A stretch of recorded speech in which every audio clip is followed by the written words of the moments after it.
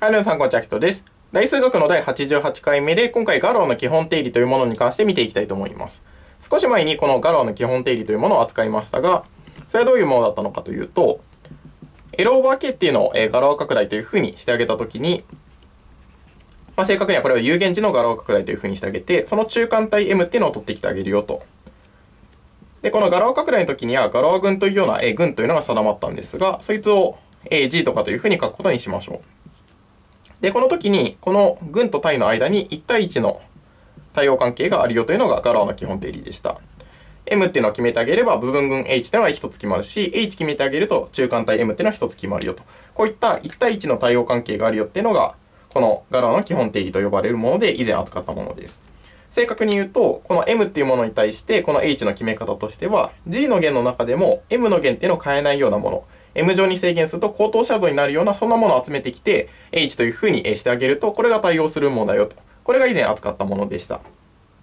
でよくガローの基本定理というふうに言ったときに、これが一番大事なものであるんですが、ここからすぐわかるような、要するに K に当たるようなものもひっくるめて、よくガローの基本定理というふうに言われたりします。このシリーズではまだ一番大事なこれだけしか扱っていないので、ここではこの K に当たるような、ここからすぐわかるようなものたちっていうのをいくつか紹介していこうかなというふうに思います。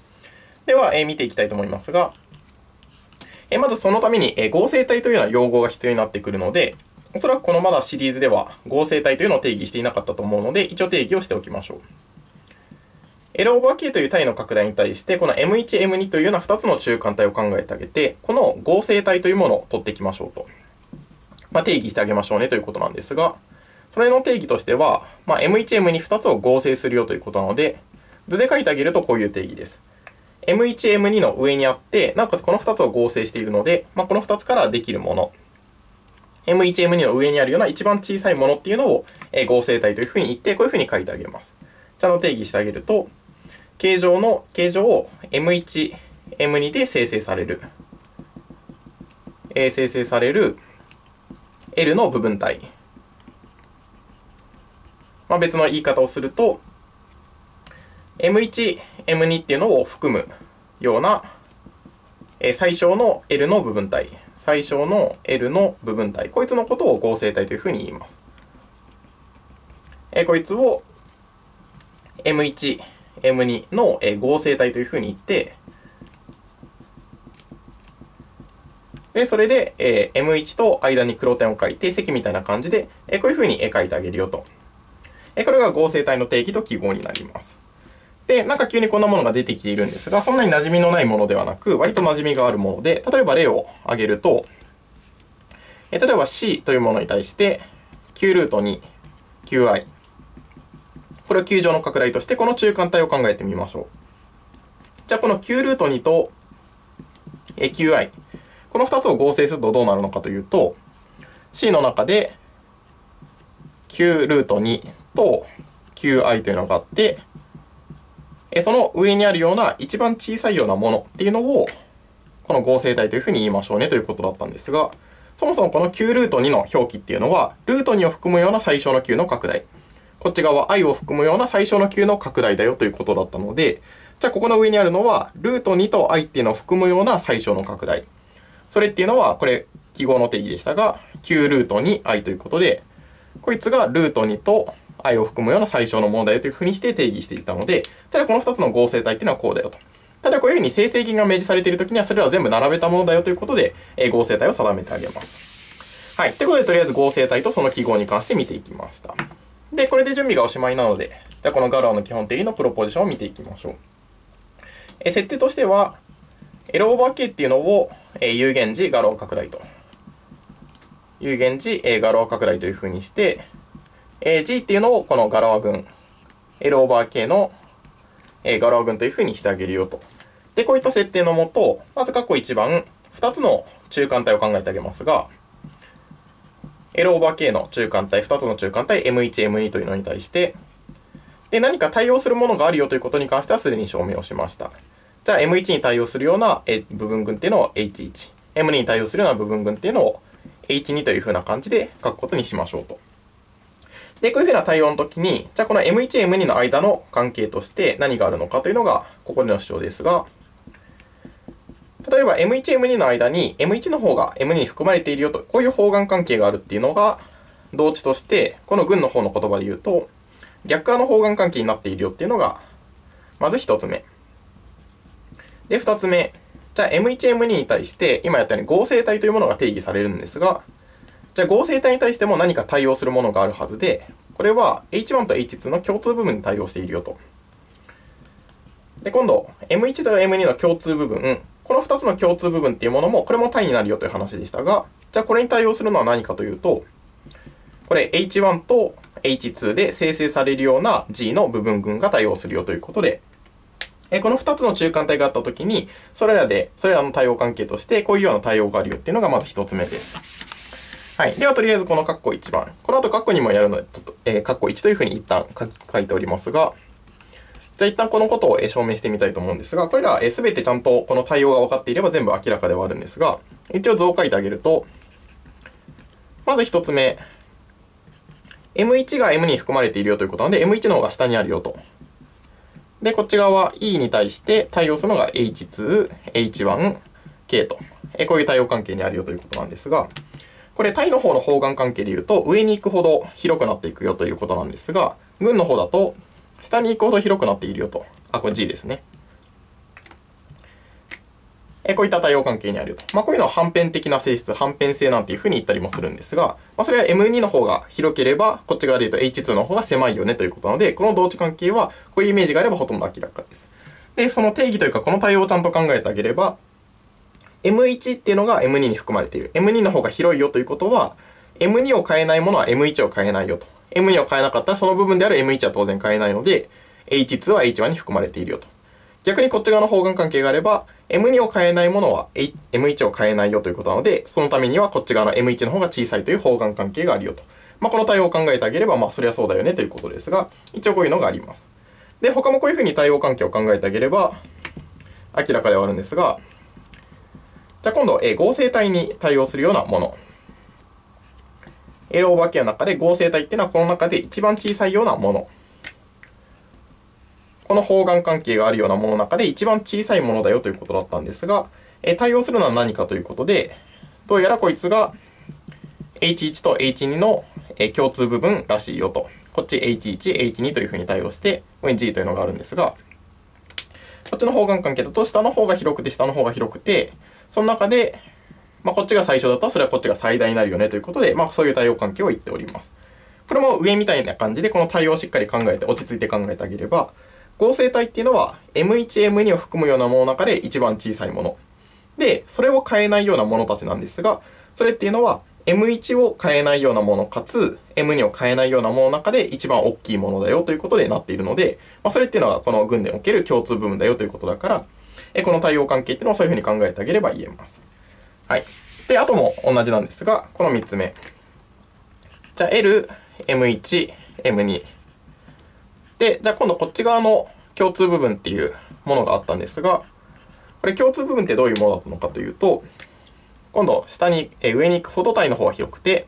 その2つっていうのをに含まれているようなものの中で、一番大きいものっていうのは共通部分でした。だからこっち側の対応においては、E、H1、H2 において、えここに G というのがあるんですが、えこの中で下側にほど広くて、じゃあこっちが一番大きいものだったら、この H1 と H2 っていうのを含んでいる中で一番小さいもの。H1、H2 両方とも含んでいるものの中で一番小さいものっていうのは、これはこの生成するようなものなので、H1、H2 で生成されるような群だよねということで、これに関してもまあ落ち着いて考えてあげれば対応が言えるんですが、まあこの方眼関係があって、こっち最大だったら反辺性からこっち最小のものが対応するよということで、そういったことからまほとんど明らかであるんですが、一応こういった2つの中間体に対してこういう群の方の対応があるよという話でした。はい。では、今度、括弧2番見ていきましょうで、え、括弧2番としては、えどういうこと？言いたいのかというと、L オーバー K の中間体 M というものに対して、対応するものを H というふうにしてあげようねと。で、これに対し、シグマという G の弦っていうのを取ってきてあげると、まあ、今、中間体 M に対して H が対応しているよと。こういった条件のもと、まずこのシグマ M っていうものが、この M に対してシグマ M というような別の中間体が対応するんですが、じゃあこれに対応するような部分群っていうのはどういうふうになるのかというと、シグマ H、シグマインバースというのが対応するよというのがまず一つ目です。で、二つ目。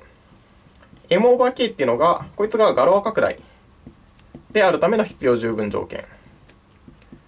一応 L オーバー K がガロアだったとしても、上の L オーバー M っていうのはガロアになるんですが、ここがガロア拡大かどうかっていうのは分からなかったんですが、これはガロア拡大になるための、じゃあこっち側の群の方の条件で言うと、H が G の正規部分群。正規部分群だったらガロア拡大だし、ガロア拡大だったら正規部分群だよというような、そういった同値関係があるよと。で、三つ目。えこの M オーバー K っていうのはガロア拡大の時。まあ、この時なんですが、じゃあガロア群というものが、M オーバー K のガロア群っていうのが定まるはずなんですが、このガラオ拡大の時には、まあ、要するに H が G の正規分群の時には、じゃあこのガラオ群がどうなるのかというと、これ g 割 h。この2つを使って書いてあげると、g 割 h と同型になっているよと。えこういったことが言えるので、この主張が括弧2番です。えこれに関しても計算していけば全部明らかであるんですが、一応こっちの方に関しては、ちゃんと計算が必要なので、そこはちゃんと見ておきましょう。はい、では、え見ていきたいと思うんですが、えまず図を書いてあげると、今回 M というものに対して、こっち側にシグマ M っていうのが対応するよと。何かシグ M っていうもの弦っていうのをシグマで移してあげると、何か別のが対応するんですが、じゃあこの時に H というものに対して、じゃあこれ何が対応するのかっていうのを表しているのが、まず一つ目の主張なんですが、実はこれシグマ H、シグマインバースっていうのが対応するよというのが、ここでの主張です。じゃあこのシグマ M に対応するものは何かというと、これ一回ちゃんと定義を書いてあげれば、えー、タグというふうに書きましょうか。えー、G の弦の中でも、このシグマ M っていうのを変えないようなもの。だから、え、シグマ M へ制限してあげると、シグマ M 上の、えー、高等写像に等しくなるような、そんなものが対応するよということでした。はい。で、あとはこれを計算していけばおしまいなんですが、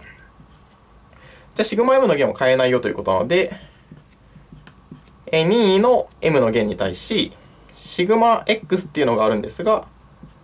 えそれをタウで送っても、このシグマ X っていうものに等しくなるよと。まあ、シグマ M の弦っていうのは、に M の弦取ってきてあげて、それをシグマで送ったものたち。このシグマ X 何、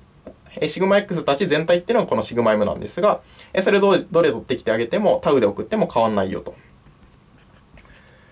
ということは、じゃあ2の X に対し、まあ、このシグマ同型なので、シグマインバースっていうのをかけてあげれば、シグマインバースタウシグマ X イコール X と。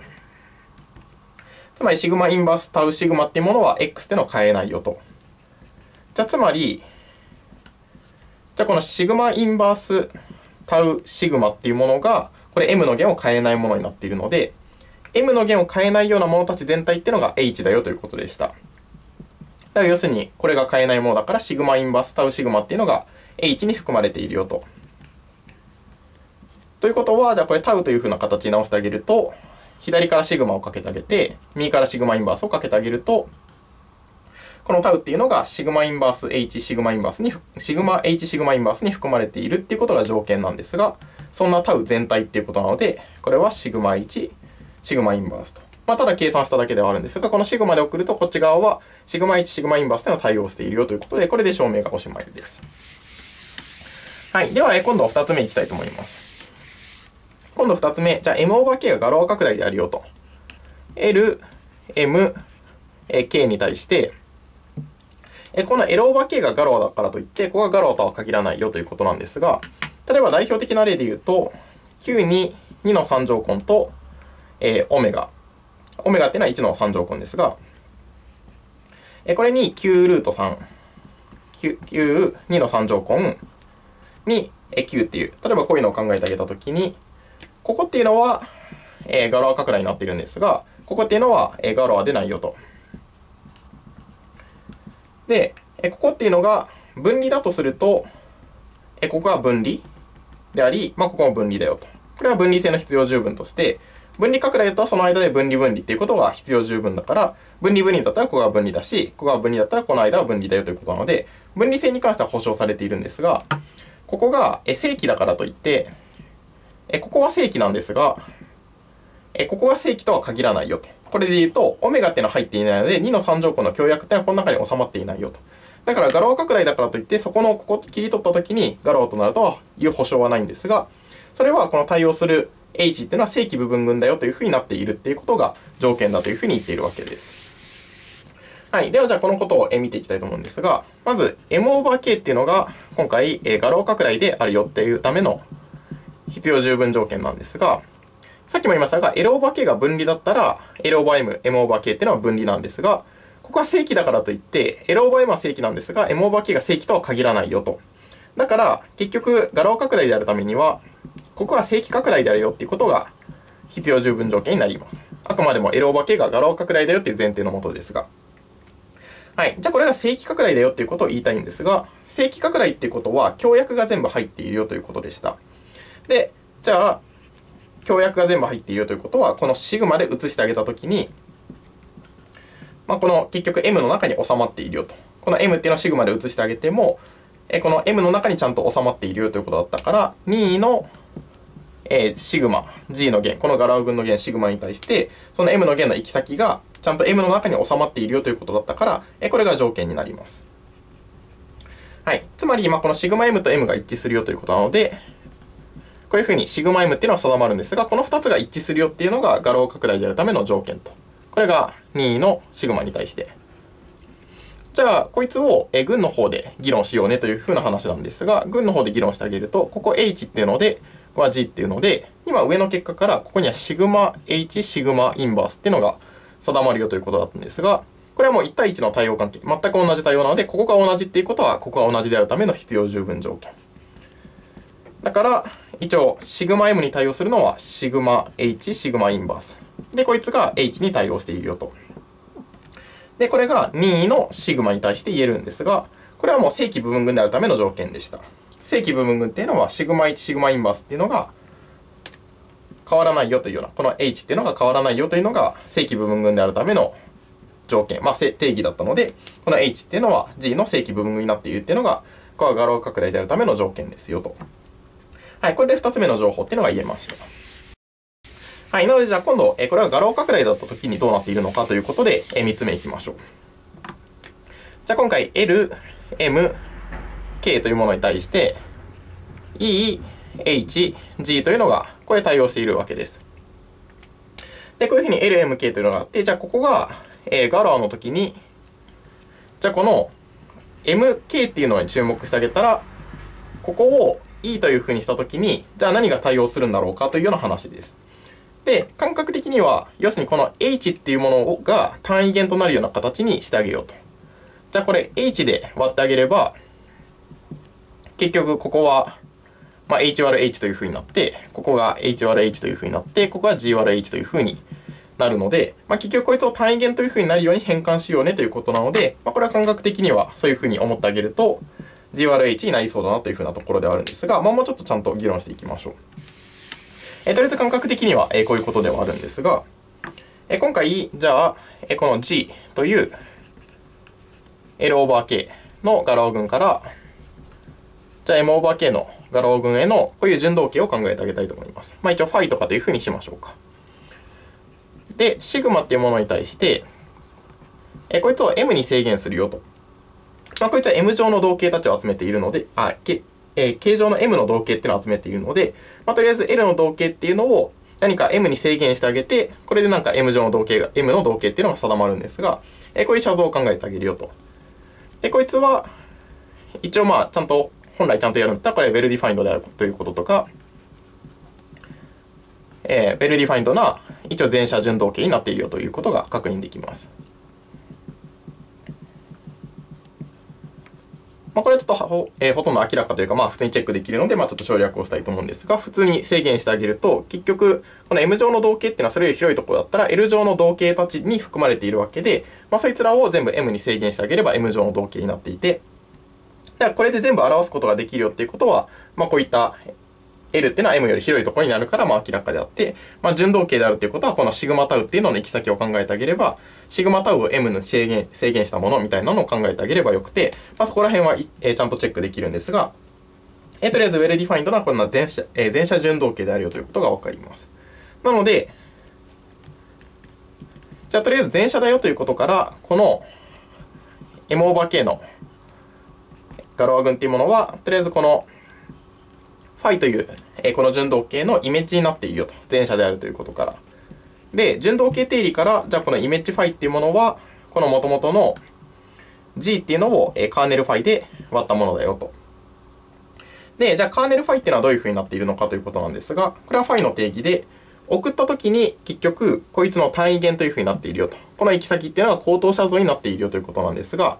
M に制限した時に口頭写像になっているということは、M の弦っていうのは全く変えないようなものたち。このシグマの中でも M に制限したら口頭写像になるものたちっていうのは、これはもうガローの基本定理の一番重要なものだった、以前証明したものの中でこれ H だよということだったから、このカーネルファイっていうのは、え H なので、これでじゃあこの M オーバー K のガロー群が G 割る H だよということを確認することができました。はい。ということで、こんな感じで第88回目ではガロアの基本定理に関して見ていきましたが、とりあえずやりたかったこととしては方程式の可解性に関する議論です。例えばそのためにおいてはガローの推進定理みたいな感じで、こういったガロア拡大におけるこのガロア理論の他の事実等を示す必要があるので、とりあえずまあここから先はそういったことを扱っていこうかなというふうに思います。とりあえず今回はここら辺で、ね、また見てください。バイバイ。